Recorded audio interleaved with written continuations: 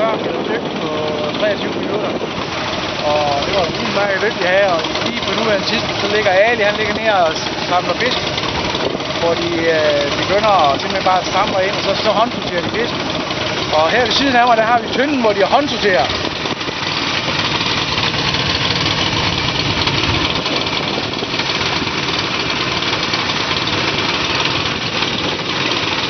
Og udover de håndsorterede fisk, så har vi jo den sidste nye model af Bauers kompressor, der står og fylder luft i.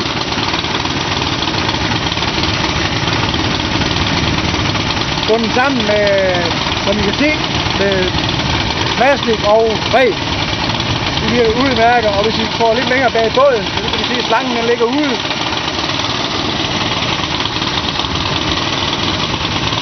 Og Ali, han er under vandet.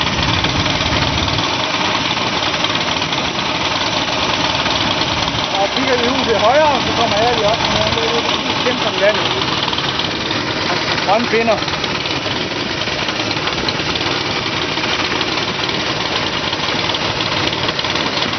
Det er lidt søgang herude, men øh, vejret det er sådan cirka øh, 38 grader, vandtemperatur 25 grader.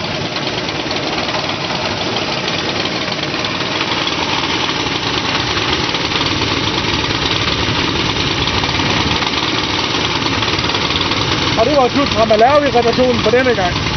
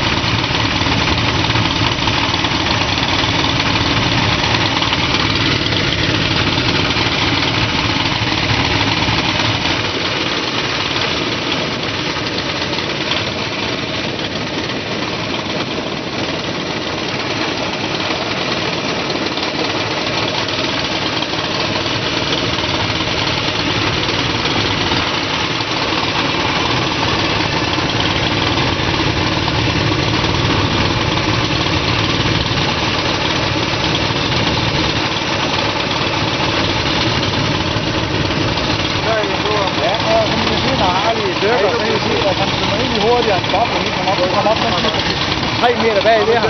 I en lang streg, kan man sige. Særligt, når han går på nogle dybder, så det er han ikke lige, hvor han er henne, grund af de bobler. Og jumbo der nej. Så kommer han op med en håndfuld fisk.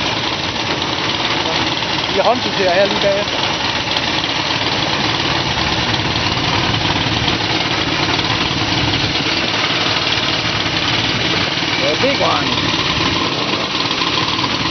esa posibilidad son eso, pena.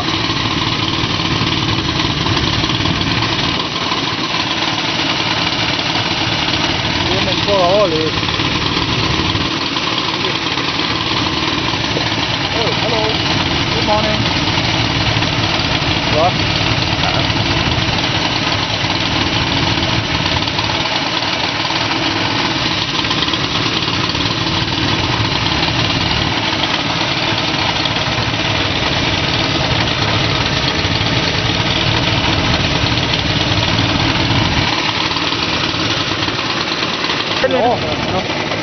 Ja, så har vi aldrig overført. spejder ikke på ham. Det er ikke næste gang. Han er kanon hurtigt. Se bagved, der ligger en lang slange.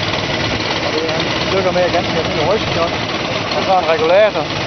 Og kompressoren giver cirka 8 bar, så den kan gå på cirka 30-35, det gør mere end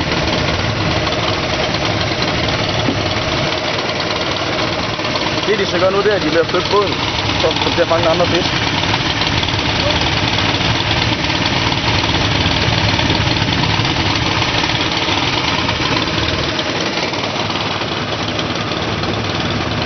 Så, når Arli kommer op, og slangen ikke kan nå længere, så roer de lige båden efter ham.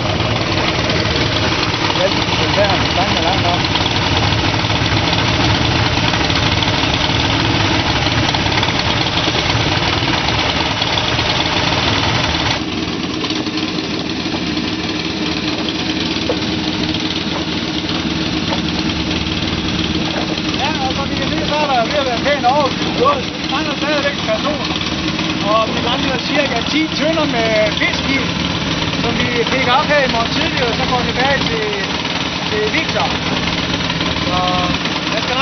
up.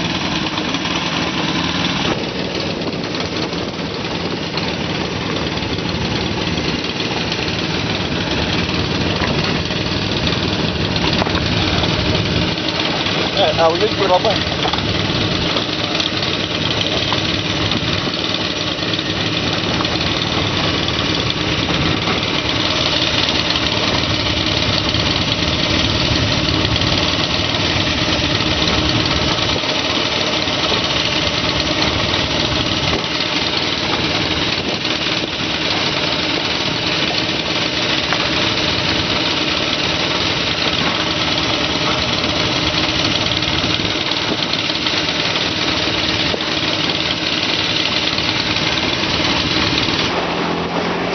هذا ولا جانب هذا ولا جانب منه أبو جملة هذا ولا منهم ما يجلب جلوس جلب هذا ما هذا ما جرام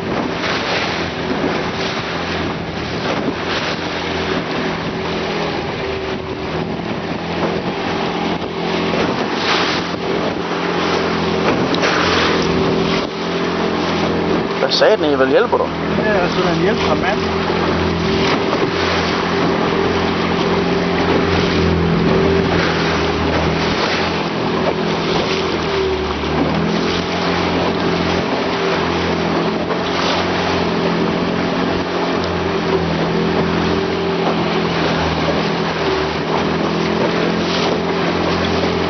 Sen bakacağız değil mi?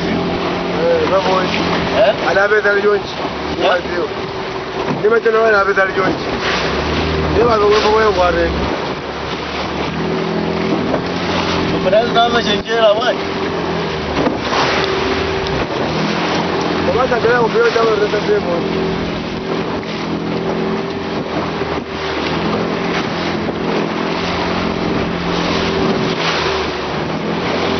Hadi tuvalet.